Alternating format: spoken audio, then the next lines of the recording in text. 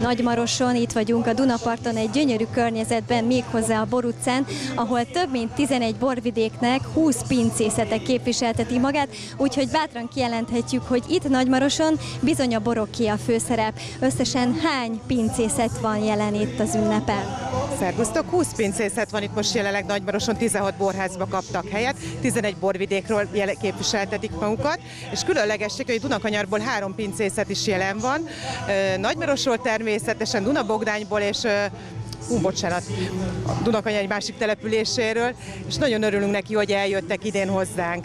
Ugye kétnapos a rendezvény, és ha jól tudom, akkor több ezren látogatnak el ide ilyenkor, mert hogy nem ez az első alkalom. Abszolút így van, igen, hála az égnek már az ötödik alkalommal sikerül megrendeznünk itt Nagymaroson, és hát most már azt jelenti, hogy 2-3 ezer, sőt 5 ezer fős látogatottságunk is volt pont tegnap este a rendezvényen, úgyhogy nagyon örülünk neki, hogy ennyire népszerű itt a rendezvényünk. Szórakoztató programok vannak, kulturális programok, és igazából természetesen a bor, ami a főszerepet kapta.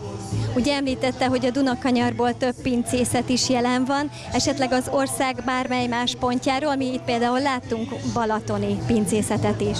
Igen, természetesen nem csak a Dunakanyar, a főpincészetek is például megjelenik Mátraalja, Badacsonyból is érkeztek, pálinkánk is van természetesen, ami különleges ízt ad a programoknak, úgyhogy több borvidékről is tényleg jelen vannak, és ennek külön örülünk.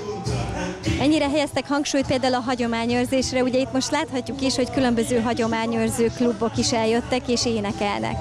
Igen, Nagymaroson a hagyományőrzésnek szintén nagy szerepe van. Nagymaroson ugye most nem léptek fel a hagyományőrzőink, de viszont Tabasáról érkezett három csoport is. Dalkörünk van itt, egyébként lehet, hogy itt a háttérben pont még dalolásznak egyet, művészeti csoport, illetve egy tangó harmonikás is fellépett. Továbbá Nagymaroson nagyon izgalmas a helyi termékeknek a jelenléte, ami szintén megtalálható most ebbe a kis borutcába.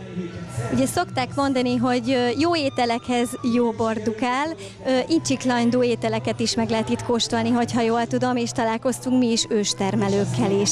Igen, igen, abszolút. A Bor utcában több őstermelő is jelen van. Sajtosok vannak, eh, pogácsa készítők, egy kicsit ilyen pékárus dolog, és természetesen Nagymarosi termelői piac után szabadon elég sok termelő jelent meg, illetve a legelső pultunk egy különleges sváb ételeket árusító hát vendéglátóhely, ahol, ahol tényleg eh, nudlit lehet kapni, mindenféle sváb kis finomságot, ami a bor mellé ideális.